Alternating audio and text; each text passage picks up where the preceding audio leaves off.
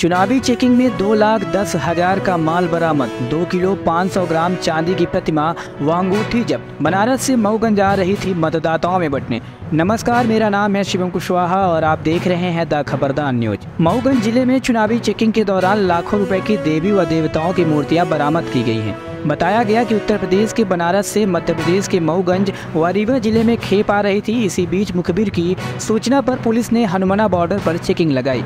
चार पहिया वाहन की 16 नग गणेश प्रतिमा 16 नग लक्ष्मी जी की मूर्ति व 400 नग अंगूठी चार पहिया वाहन से बरामद की गई है। आपको बता दें, जब्त प्रतिमाओं की कीमत दो लाख दस हज़ार रुपए है। इन प्रतिमाओं में दो किलो पाँच सौ ग्राम चांदी का इस्तेमाल हुआ है।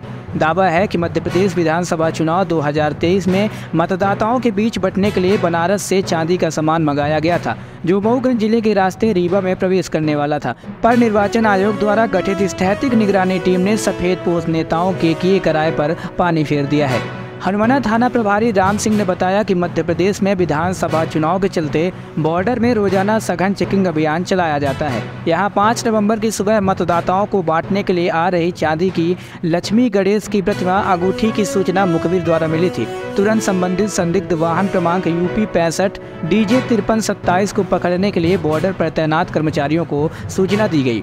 पूछताछ में चालक ने अपना नाम प्रशांत कुमार वर्मा, पुत्र नक्षेत्र प्रसाद वर्मा 30 वर्ष निवासी, तिहत्तर या अठहत्तर विशेषगंज, वाराणसी, उत्तर प्रदेश का बताया गया है। इसी बीच स्थैतिक निगरानी टीम ने वाहन को रोक लिया।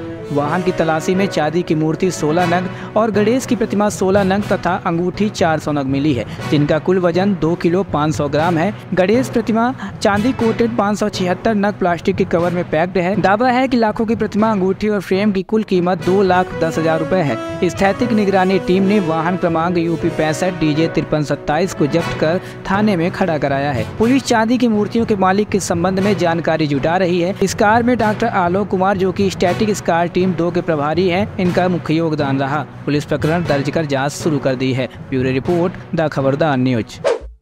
अगर आपको वीडियो पसंद आई हो तो वीडियो को लाइक करें, शेयर करें और हमारे चैनल को सब्सक्राइब करना न भूलें।